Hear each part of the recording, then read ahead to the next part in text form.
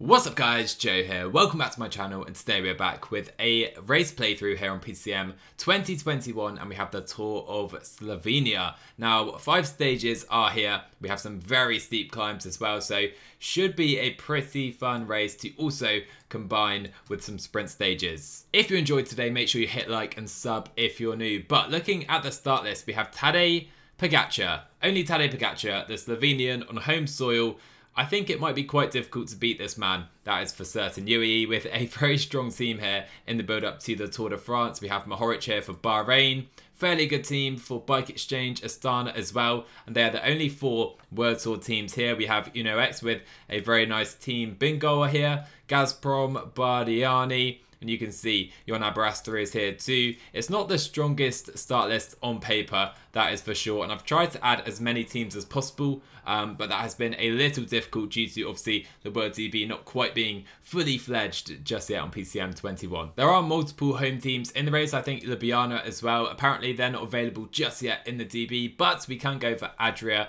Mobil. So that is who we are going to take today. We've got the legend Žiga Horvat here, along with a bunch of other riders on paper, apparently according to PCM, the weakest team in the race. So yeah, it's going to be fairly challenging for us to get anything out of this race, but stage win on home soil for Adria Mobil would be perfect. Sprint stage is up first, and it is Matteo Trentin and Phil Bauhaus, the two clear favourites. Bauhaus, I think, by far the quickest sprinter here on paper. Race days PCM, what is this?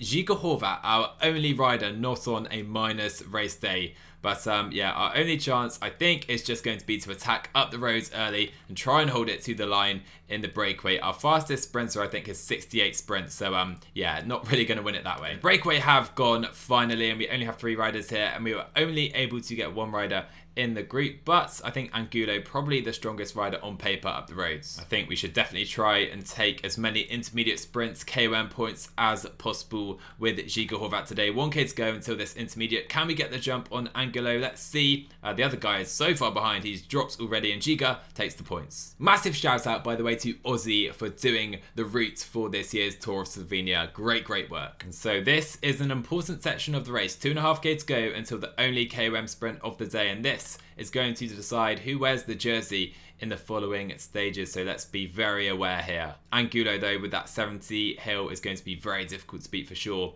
with Žiga Horvat. Can we maybe come to the left-hand side, right-hand side of the road? We're leading things out right now, but it is downhill, which is surely going to help us. Let's kick now into the final kilometre. We have kicked for the line. Can Angulo follow us? He's going to try, surely. Here comes the Spaniard, but the line comes very quickly after that descent, and Žiga Horvat is going to take the points and be in the KOM jersey for stage two. And that is quickly followed by the next intermediate sprint. So let's again stay to the front. 1k to go, downhill to the line. Let's just go for this with Žiga Horvat. Angulo though, this time I think it's going to us. Is he? No, he's not. He can't come round. Žiga dominating this stage so far. Final intermediate sprint of the day then, just 1.5k to go. I think I'll try and launch early to the right hand side with Žiga moving over to the right hand side of the road. They can't follow the wheel and hopefully we have the gap to Angulo to take the final sprint of the day. Yes, we do. What a stage for Žiga. So we're doing our best with Angulo and Žiga to hold on to the front of the race. Extra barrier has been dropped and quickly I think the sprinters are going to overhaul us. We have Katrasnik, I think you say. Anyway, he's going to be our sprinter today. David Per is going to lead him out. 67 sprints on this man, 68. So, um, yeah, a top five would be a really good result, I feel. But you know what? I may try and grab a wheel of another sprinter here. If I can see one, I can see Phil Bauhaus, and we saw earlier, he looks like the strongest sprinter here. So can I grab his wheel? I think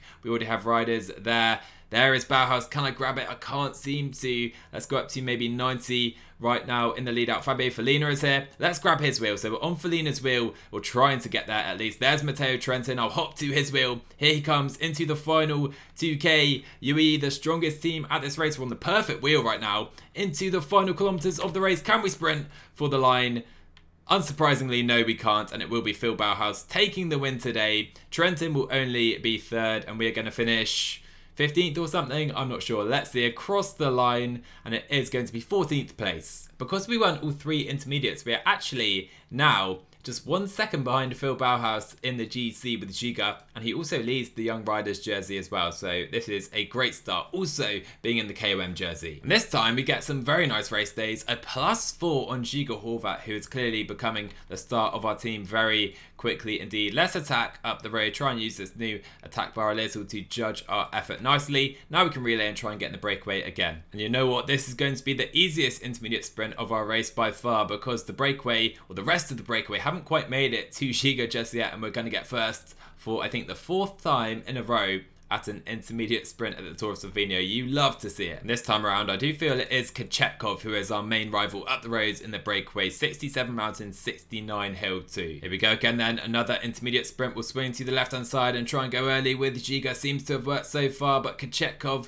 seems to react pretty well, but again, Žiga is just too quick for these guys and he goes into the lead of the points classification. So just 2k to go, we're trying to come to the front with Žiga, trying to make our way past Kochetkov. He is really going very hard though, and that mountain stat for him really is starting to pay dividends, I feel, into the final kilometer. We need to react straight away, and we do, but Kochetkov is very punchy compared to Žiga, and I think we're going to have to settle for maybe runners-up spot here. Let's see, can we maybe come past in the final? Let's go with Žiga, and it will be runners-up spot, but still, we're doing very well in this KOM classification. And behind, I mean, the tempo is nothing, but look at our guys' energy just trying to stay to the front of the race. Also, we need to try and get to this intermediate ASAP. So Kochetkov has set up 3Ks to go. Can I even ride straight past this man? Let's see with Žiga on the right hand side of the roads here. We're going to try and do just that. Here goes Kochetkov, 1k to go. And here goes Žiga Horvat going for the line. Kochetkov as well.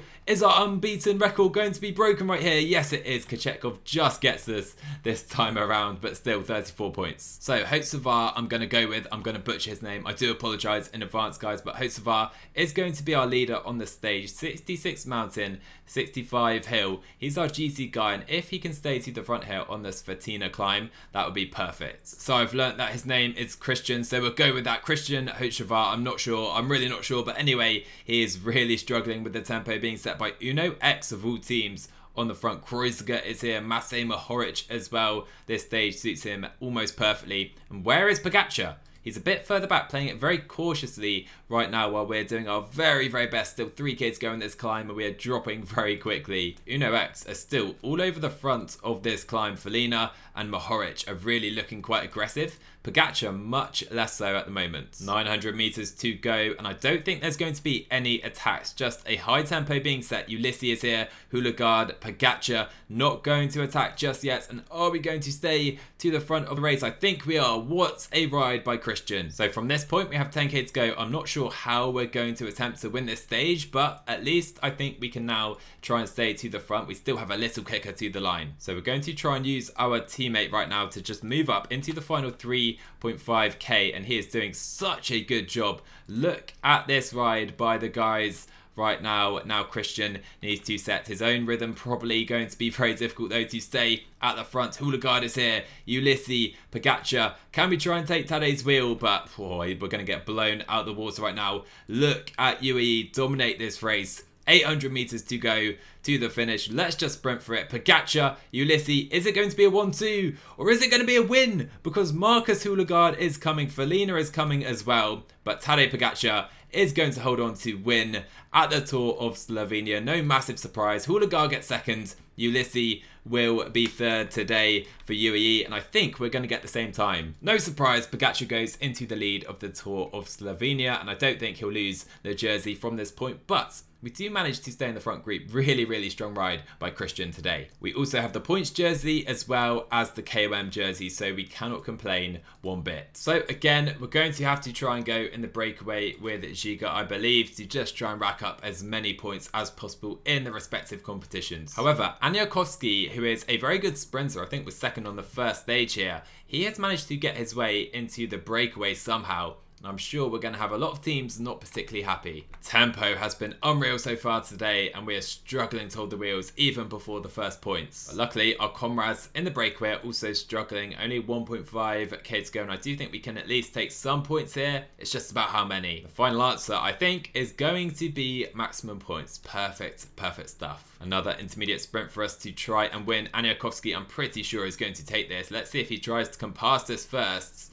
and we beat Aniołkowski in a sprint. Okay, Žiga Horvat is on something in this race, and I'm not sure what, but it's making him perform very, very well. So can we take this one again ahead of Aniołkowski? I'm not sure if he's trying to contest. I think he's just trying to follow, which does mean we should be able to roll across the line here. Yes, he's just following us perfect, so more points in the bag. Yes, another one, believe it or not, intermediate sprint coming up. We're going to try and win it with Žiga. Can we do that? 1k to go. I think we should have the beating of these guys. It seems we have so far, and we do yet again. Another crash for us. David Per has gone down this time around, and we are now approaching the decisive moments of the stage, and I think we're going to get caught before this KOM. Oh my word, our riders are falling all over the place, and by themselves, look at this two fools, solo fools with no one else brought down by our riders. Really strange. 8k to go then is going to be the expected mass sprint again. I think our best tactic is probably doing the same and just following the wheels of the quicker riders and seeing how far we can finish. Oh my word, we've had another crash, another crash. Was it only our rider again? Okay, at least a few other riders went down this time. Jonathan Milan, a good lead out man for Bahrain, victorious for sure. Where is Trentin? Let's sit up here. 4k to go. We don't want to be at the front just yet. There is Ulissi. There is Mattia Sobrero as well for Astana. We'll grab his wheel. There is Phil Bauhaus. Can we jump to the Germans' wheel? We're finding that difficult. Instead, Malucelli would be the perfect wheel. And we are there. Bahrain Victorious taking us right to the front of this race. 1.5 k to go. We need to try and hold that wheel. Hold that wheel. We're not quite going to be able to. Is Malucelli going to steal it? No, he isn't. Phil Bauhaus wins again at the Tour of Slovenia. Trentin third, and this time we do make our way into sixth place. A very nice job. Really very happy with that stage, but Phil Bauhaus does close the gap to just four points in the points jersey right there, but we look very good in the KOM jersey with Žiga Horvat. So I feel like this time we could maybe try and get two riders in the breakaway. David Per on a really nice day and Hochfar Christian, our leader, not on the best day either. So it may be worth trying to really go all in for the breakaway. So we've had a massive fight for the breakaway today, but Žiga Horvat was unable to join that group sadly. David Per has just bridged and it is a fairly big group Probably the biggest of the race so far with some pretty good riders as well. Stedman, very good little climber. And we need to try and take away the intermediate sprint points here. Oh, but Kuznetsov and these guys are actually going to try and sprint for this. What's a nightmare. Can David Per come first? Yes, he can. So we're going to try and take every single intermediate sprint point as many as possible at least because David Per needs to try and defend Žiga Horvat's jersey. I must say that this stage is a lot more difficult than I first thought. Really some very steep climbs. David Per still just holding on to the front of the race. Quite a few riders have been dropped from that group and you can see Christian was just dropped over the top of that climb as well. And he is really, really suffering right now. He's already lost three teammates too. There we go then. Per is dropped by Soto at the front of the race. Stedman as well has been dropped and he is a very good climber. So we've put in a decent little performance here. Just it's been such a difficult day. The tempo is so high. It is so, so high. We have 60 riders here and look at our energy. I'm honestly struggling just to stay in the group, let alone to the front of the race. But we have now managed to move to the front just in time, perfectly timed actually, ahead of the first of the day's main efforts, but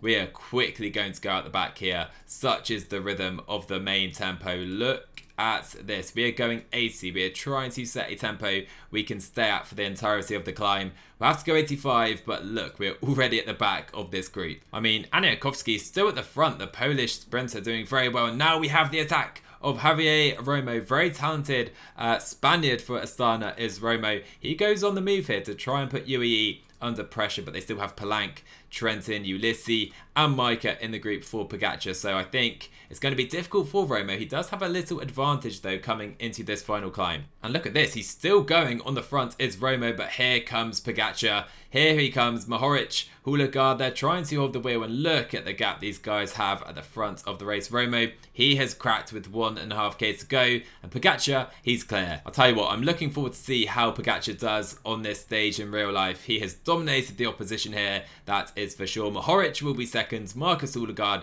really respectable third place. And the gaps we have right now are massive. Visconti, Stannard, Tratnik, Kangert, Felline, and Roman Kreuziger will be next to finish. I would have absolutely loved to have had a GC result here, but we're only 39th, six and a half minutes down to Tadej Pogacar today, who has blown away the opposition at this year's Tour of Slovenia. It's not a massive surprise. We're currently 30th in the GC, but This is the main one. We are now second behind Pogacar in the sprint jersey and thirds in the KOM classification. Can we snatch those back on the final stage? Oh, this was the only day we needed a big day from you. And he gets a minus four day. Oh my word, that is an absolute stinker if I've ever seen one. And can I maybe try and get two riders up in today's breakaway? Let's try. We'll give it our all um, and see if we can give Žiga some help up the roads. So sadly, guys, we're not going to be allowed to put anyone up the road with Žiga Horvat. We have Malucelli here, Bernas is here, as well. A pretty good breakaway. And the situation is this. We need some sprint points and we need some KOM points to take back those jerseys. UAE Team Emirates are controlling on the front. And I'll tell you guys, we are struggling to hold these wheels even for this first KOM. This is it. 2k to go and we need some points here. We need six to be precise, to overhaul Matej Mohoric, which is first position. So I'm hoping these guys aren't going to contest this KOM. They are pressing on quite aggressively now, is Irizar. 600 meters to go. Here goes Žiga, giving his all for the jersey, and Žiga Horvat is going to win, hopefully, the KOM competition um, because I don't think Mohoric is going to win the next KOM. And the tempo is very high again, but we will be allowed to take the points just to ensure we win the KOM jersey with 59 Mountain Žiga Horvat. Let's go. Our next challenge is the points jersey, and you can see you get six points for each intermediate and we need quite a few to overhaul Pogacar and then hold it over the finish line as well. So this is going to be more difficult. But again, these guys, oh my word, they've gone for it. I don't believe it. I don't believe it. Malucelli, of course, the sprinter up the in the breakaway, steals the points. So we only get four on that occasion. So Malucelli is the sprinter up the in the breakaway we need to beat here. If we beat him, we go into the provisional lead. If not, we stay second behind Pogacar. So 1k to go. Let's just open it up right now with Horvat. But here comes Malucelli. And it's a no contest, I'm afraid, especially on this minus four day. We're one point behind. Come on. Only four and a half K to go here. We are caught badly out of position with our sprinter, but we are trying to move up. Let's go to the right-hand side, maybe, to get to the front of this race. Use all the gels right now. We are finishing on that little cobbled sector as we have a few guys opening it up. Can I maybe get in the wheel of Marcus Hoelgaard? Can't really do that right now. Only 1.8 to go. We're struggling. We're not following our teammate for some reason. Maybe Rob Stannard. Let's just sprint for it with all of our guys. See where we end up. It's not going to be a win. And it's going to be another win for Phil Bauhaus. I think a hat-trick at this race. Beating Aniołkowski Felline is third. And Tadej Pogacar wins the Tour of Slovenia. So we were 17th on the final stage, not the best performance I have to say, but I'm pretty happy with the race overall. We do manage to get that KOM jersey with Žiga Horvat, you love to see it. Luckily, we couldn't have won the intermediate sprint or the points classification anyway, so I think Žiga, the new Thomas de Gendt, that is for sure. But if you enjoyed today, make sure you smash that like button, drop a sub on the channel as well if you're new, and I'll see you guys in the next one.